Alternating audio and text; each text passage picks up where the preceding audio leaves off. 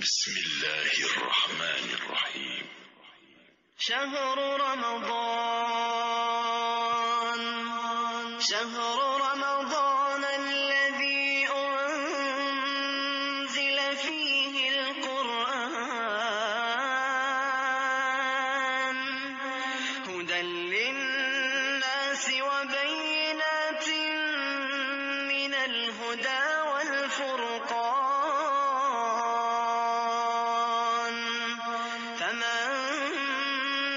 شهد منكم الشهر فليصم оне ки рӯза ба ӯ фарз аст рӯзаи моҳи рамазон ба кӣ фарз аст адои рӯзаи моҳи рамазон ба ҳар мусалмон мард зан болиғ оқил қодир муқим фарз аст савол адои рӯзаи моҳи рамазон бояд холӣ аз манъшудаҳо бошад яъне ба мисли кӣ ба мисли зани ҳайздида ва нифосдида ки онҳо дар ҳамон ҳолат намоз ва рӯза намедоранд савол. Оё дар адои ибодатҳо оқил будани инсон шарт аст? Бале. Инсоне ки аз ақл берун аст бар ӯ намоз рӯза ва ҳаҷ фарз нест. Савол.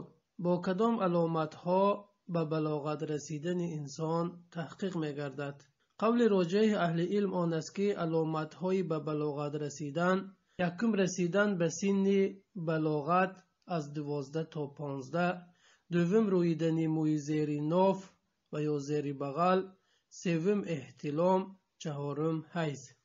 Савол оё синни балоғат ҳадди муайяне дорад не ҳар писар ё духтар пеш аз синни понздаҳ ва ё баъди он ба балоғат мерасанд савол мақсад аз қудрат доштан дар рӯзадорӣ чист? Мақсад аз қудрат доштан яъне мариз набудани инсони рӯзадор.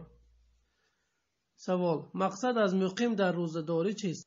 Оне ки дар ватан ва дар сарзамини худ аст ва ҳамроҳ бо аҳли худ рӯза мегирад яъне машаққати мусофириро надорад.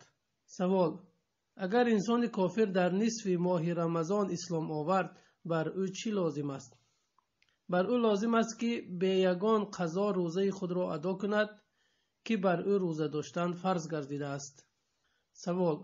Шахсе барои вазнин будани имтиҳони донишгоҳ рӯзаи фарзиро надошт. Ҳукми он чист?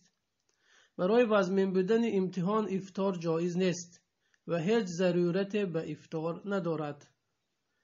Савол. Оё ҷоиз аст ки коргар барои вазнин будани кор рӯзаи моҳи рамазонро надорад аввал ба онҳо лозим аст ки талаби ёрӣ аз парвардигор карда рӯзаро бидоранд ва бе ягон зарурат онро тарк накунанд магар дар ҳолати мариз шудан ва ё қудрат надоштан савол.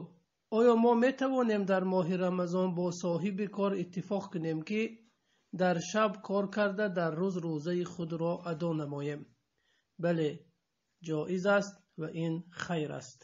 Бо ҳамин мавзӯи рӯза ба кӣ фарз аст ба охир расид аз парвардигор аз парвардигор пурсони он ҳастем ки моро ба моҳи рамазон бирасонад ва рӯзаҳои моро ба даргоҳаш қабул гардонад. Омин я роббалааламин ассалому алайкум ва раҳматуллоҳи ва баракатуh